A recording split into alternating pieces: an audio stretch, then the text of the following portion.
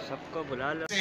जा रहे हैं, लेकिन फिर साहित्य अपना काम यदि करता है, ठीक ढंग से साहित्य का निर्माण होता है तो समाज भी ठीक ढंग से चल सकता है। एक दूसरे पर परस्पर अवलंबी इस प्रकार का साहित्य और समाज का रिश्ता होता है। और इसलिए मैंने कहा कि आत्मा और शरीर, इसका जो संबंध होता है वही संबंध साहित्य और समाज का होता है।